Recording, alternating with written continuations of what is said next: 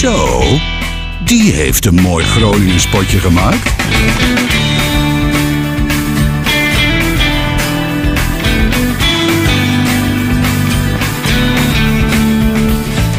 Je ziet het. Er gaat niets boven Groningen.